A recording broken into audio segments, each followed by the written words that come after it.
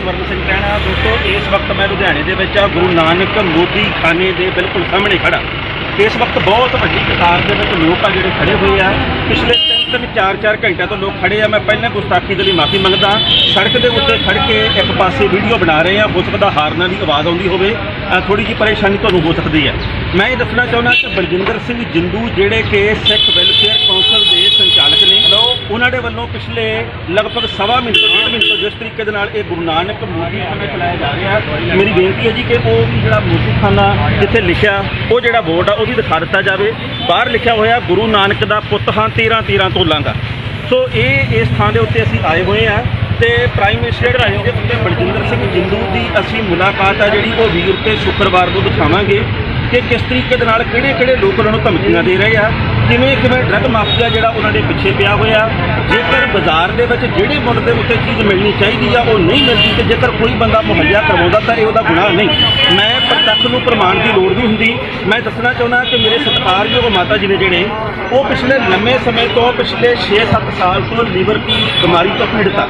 ਅਸੀਂ ਡੀਐਮਸੀ ਦੇ ਸਾਹਮਣੇ ਵਾਲੀਆਂ ਦੁਕਾਨਾਂ ਤੋਂ ਦਵਾਈ ਲੈਂਦੇ ਆ ਕਈ ਦੁਕਾਨਾਂ ਦੇ ਬਾਹਰ ਲਿਖਿਆ ਹੋਇਆ 10 ਤੋਂ ਲੈ ਕੇ 15% ਤੱਕ ਸਸਤੀਆਂ ਰਿਆਇਤੀ ਦਰਾਂ ਦੇ ਉੱਤੇ ਮਿਲਦੀਆਂ। ਪਰ ਉਹ ਦਵਾਈਆਂ ਸਾਨੂੰ ਕਿੰਨੀਆਂ ਮਹਿੰਗੀਆਂ ਮਿਲਦੀਆਂ ਮੈਂ ਦੱਸ ਨਹੀਂ ਸਕਦਾ। ਅੱਜ ਆ ਮੈਂ ਹੁਣ ਸਾਰੀਆਂ ਦਵਾਈਆਂ ਲਈਆਂ। ਮੈਂ ਕਿਹਾ ਨਾਲੇ ਤਾਂ ਮੈਂ ਦੇਖ ਲੈਣਾ ਤੇ ਨਾਲੇ ਮੈਨੂੰ ਪਤਾ ਲੱਗ ਜੂਗਾ ਮੈਂ ਪਰਖ ਲੈਣਾ ਜਿਹੜਾ 72 ਰੁਪਏ ਦਾ ਇੱਕ ਪੱਤਾ ਗੋਲੀਆਂ ਦਾ, ਉਹ ਅੱਜ ਮੈਨੂੰ 109 ਰੁਪਏ ਦਾ ਮਿਲਿਆ। ਜਿਹੜਾ 42 ਰੁਪਏ ਦਾ ਇੱਕ ਪੱਤਾ, ਉਹ ਅੱਜ ਇੱਥੋਂ ਮੈਨੂੰ 6 ਰੁਪਏ ਦਾ ਮਿਲਿਆ। ਉਸ ਤੋਂ ਇਲਾਵਾ ਮੈਂ ਸੈਨੀਟਾਈਜ਼ਰ ਵੀ ਲਏ ਆ, ਮੈਂ ਕੁਝ ਹੋਰ ਮਾਤਾ ਜੀ ਦੇ ਲਈ ਸਮਾਨ ਲਿਆ ਜਿਹੜਾ ਕਿ ਉਹਨਾਂ ਦੇ ਲਈ ਬੇਹੱਦ ਜ਼ਰੂਰੀ ਹੈ ਮੈਨੂੰ ਪਤਾ ਕਿ ਮੈਂ ਕਿਹੜੀ ਪੀੜ ਮਹਿਸੂਸ ਕਰ ਰਿਹਾ, ਮੈਂ ਪਿਛਲੇ 6 ਸਾਲਾਂ ਤੋਂ ਜਿਸ ਤਰੀਕੇ ਦਾ ਸੰਤਾਪ ਹੰਡਾ ਰਿਹਾ ਕਿ ਕਿਵੇਂ ਬੰਦਾ ਆਪਣੀ ਜੇਬ ਦੇ ਵਿੱਚੋਂ ਜੋ ਕਮਾਉਂਦਾ, ਉਹ ਖਰਚ ਕਰਨ ਵਾਲੇ ਆਪਾਂ ਲੋਕ ਆ, ਤੇ ਮੇਰੇ ਵਰਗੇ ਸਾਰੇ ਲੋਕ ਆ ਜਿਹੜੇ ਕਿ ਕਤਾਰ ਦੇ ਵਿੱਚ ਖੜੇ ਆ, ਸੋ ਜ਼ਰੂਰਤ ਇਸ ਵਕਤ ਇਸ ਗੱਲ ਦੀ ਹੈ ਕਿ ਅਸੀਂ ਬਹੁਤ ਸਾਰੀਆਂ ਸਿੱਖ ਜਥੇਬੰਦੀਆਂ ਚਲਾਉਂਦੇ ਆ ਅਸੀਂ ਬਹੁਤ ਸਾਰੇ ਸਮਾਜ ਸੇਵੀ ਕੰਮਾਂ ਦੇ ਨਾਲ ਜੁੜੇ ਹੋਏ ਆ। ਜੇਕਰ ਇਹ ਦੁਕਾਨ, ਜੇਕਰ ਇਹ ਮੂਦੀਖਾਨਾ ਬੰਦ ਹੁੰਦਾ, ਤਾਂ ਇਹਦੇ ਪਿੱਛੇ ਕਸੂਰਵਾਰ ਅਸੀਂ ਵੀ ਹੋਵਾਂਗੇ। ਅਸੀਂ ਜਿਹੜੇ ਕਹਿੰਦੇ ਜੀ ਕਿ ਫਲਾਣੇ ਦੇ ਵਿੱਚ ਨਗੋਚ ਕੱਢਤੀ, ਉਹਦੇ ਤੇ ਨਗੋਚ ਕੱਢਤੀ, ਸਾਡੀ ਭਾਵਨਾ ਬੇਸ਼ੱਕ ਇੱਕ ਸਕਿੰਟ ਦੇ ਵਿੱਚ ਭੜਕ ਜਾਂਦੀ ਆ।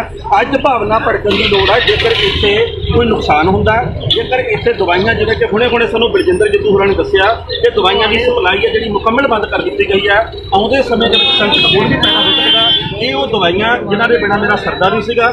ਇਹ ਉਹ ਦਵਾਈਆਂ ਜਿਹੜੀਆਂ ਮੇਰੀ ਮਾਤਾ ਜੀ ਦੇ ਲਈ ਬੇਹੱਦ ਜ਼ਰੂਰੀ ਹੈ। ਅਸੀਂ ਬਹੁਤ ਸਾਰੇ ਲੋਕਾਂ ਨੂੰ ਮਿਲੇ ਆ ਕਿਸੇ ਨੇ ਕਿਹਾ ਜੀ ਕਿ ਮੇਰੇ ਪਿਤਾ ਜੀ ਬਿਮਾਰ ਆ।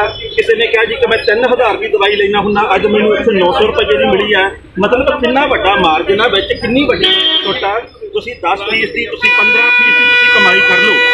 ਇਹਦਾ ਮਤਲਬ ਇਹ ਨਹੀਂਗਾ ਵੀ ਜਿਹੜੀ ਚੀਜ਼ 15 ਰੁਪਈਆਂ ਦੀ ਆ, ਉਹ ਤੁਸੀਂ 150 ਰੁਪਏ ਦੀ ਦਿਓ। ਦੁੱਖ ਹੁੰਦਾ ਪ੍ਰਾਈਮ ਮਿਨਿਸਟਰ ਟੀਵੀ ਦੇ ਉੱਤੇ ਬਰਜਿੰਦਰ ਸਿੰਘ ਜਿੰਦੂ ਤੇ ਜਿਹੜੇ ਵੀ ਲੋਕ ਇੱਥੇ ਖੜੇ ਆ, ਉਹਨਾਂ ਦੇ ਵੱਲੋਂ ਕਈ ਤਰ੍ਹਾਂ ਦੇ ਨਵੇਂ ਖੁਲਾਸੇ ਕੀਤੇ ਗਏ ਆ। ਕੱਲੀ ਕੱਲੀ ਜਾਣਕਾਰੀ ਤੁਹਾਡੇ ਨਾਲ ਸਾਂਝੀ ਕਰਾਂਗੇ। ਵੀਰਵਾਰ ਤੇ ਸ਼ੁੱਕਰਵਾਰ।